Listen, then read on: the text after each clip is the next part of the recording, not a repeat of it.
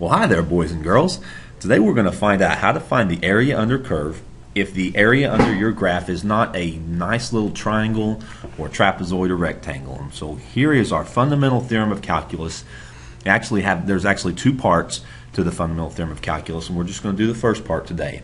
The fundamental theorem of calculus says if you are interested in finding the area under a curve of a graph, treat it like a derivative. Treat it like it was someone had already taken the derivative and that it's an f prime.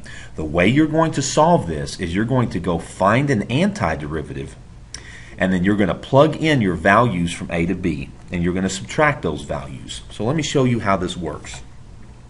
Let's say we want to find the area under the curve of x squared plus 3. We're finding the integral. And remember, this is net signed area, so anything that drops below the x-axis would count as a negative value. So we're going to do this by hand, and we are going to say that x squared plus 3 is my f prime. So what is my f of x? That means I, has, I have to integrate f prime. I have to integrate x squared plus 3. And I can find any antiderivative that I want. We don't even have to put the plus c on it. I'm going to let my plus c be 0. You could use whatever plus c you want. Since we're subtracting these off, those c values are going to cancel anyway. So here's how I would solve this. I would first of all go find an antiderivative. The antiderivative for x squared is x cubed over 3. And the antiderivative for 3 is 3x. So I have now found an antiderivative, and I'm going to put brackets around this. And I'm going to put the bottom number 1 down here and the top number 2 up here. And what I'm going to do now is I'm going to plug the 2 in. We're going to find f of b by taking the b and we plug it in for x.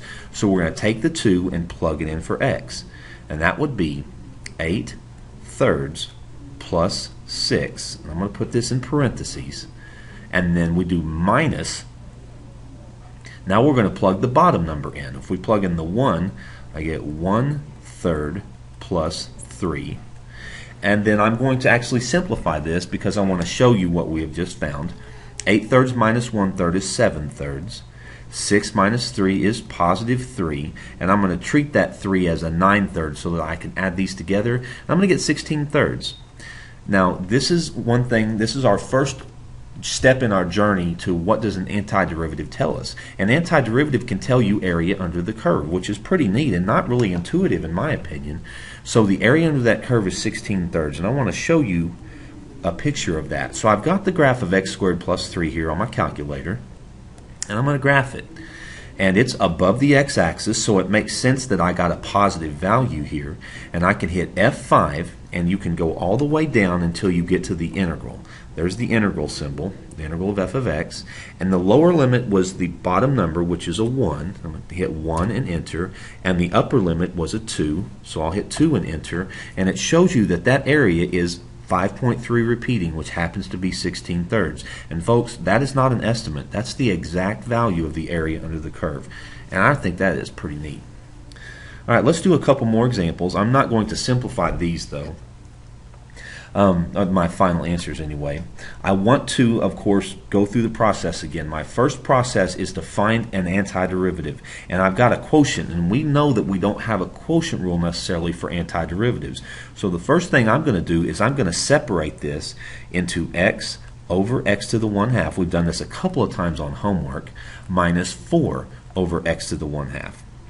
And then I'm going to simplify. So this is going to equal the integral from 1 to 9 of x to the 1 half minus 4x to the negative 1 half. And then I can take my antiderivative. So I'm going to add 1 to 1 half, which is 3 halves. Dividing by 3 halves is the same thing as multiplying by 2 thirds. So I'll have 2 thirds x to the 3 halves. And then when we add 1 to negative 1 half, we get 1 half. Dividing by 1 half is the same thing as multiplying times 2. So I'm going to get minus 8x to the 1 half. And we're going to evaluate this from 1 to 9. So we're going to plug the 9 in first for my x's, and then we'll plug the 1 in and subtract those values. Now let's stop and talk for just a minute about fractional exponents. This is always power over root. The top is a power, the bottom is a root. So this is power over root.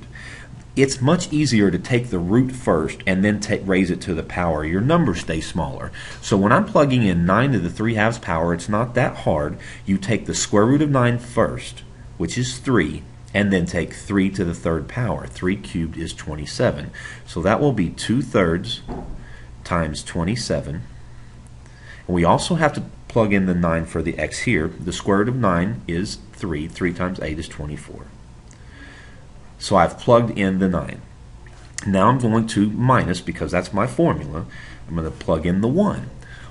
Well, the square root of 1 is 1. 1 cubed is 1. That's just 1. 1 to any power is 1, so I'm going to have 2 thirds minus 8.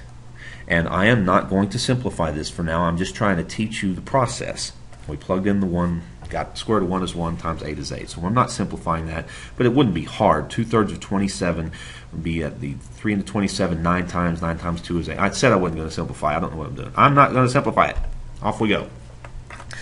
All right, step one. You want to find the area under the curve. You're going to find an antiderivative. You want to find the integral anyway. Find an antiderivative. So what have we ever taken the derivative of to get secant squared? And of course that an answer is tangent. And I'm going to evaluate tangent from 0 to pi over 4, which means I've got to plug in pi over 4 and then plug in 0. And so what's the tangent of pi over 4? Well, see pi over 4 is a 45 degree angle, so I'm going to draw a 45 degree angle. And I'll label that, it's isosceles, so I'll label those both as 1s. In the hypotenuse, I'll put a square root of 2 there. So here's your angle x. The tangent of the angle is opposite over adjacent, so that's just 1. And of course the tangent of 0 0 is out here. This is 0 degrees or 0 radians. This ordered pair would be 1 comma 0, and you should remember that tangent is sine over cosine. So the tangent of 0 would be 0 divided by 1, or just 0, and that's your answer. It's 1. All right. If you have an absolute value, you're going to need to separate this into two integrals. The first thing you want to do is you, you want to figure out where does it equal 0. Where does 2x minus 1 equal 0? And of course that happens at 1 half. So this is going to break at 1 half. To the right of 1 half, it's going to behave like what you see inside of the absolute value. So to the right of 1 half, it's just 2x minus 1. It's just this linear equation. To the left of 1 half, however, it's going to behave the opposite. So this is going to be like a piecewise function. This is going to be 2x minus 1 as long as x is greater than or equal to 1 half.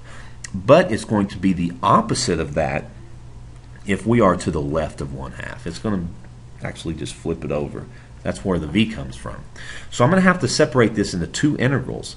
I'm going to do the integral from 0 to 1 half of the equation negative 2x plus 1 because it's the opposite because we are to the left of 1 half and then plus the integral from 1 half up to 3 of regular old 2x minus 1.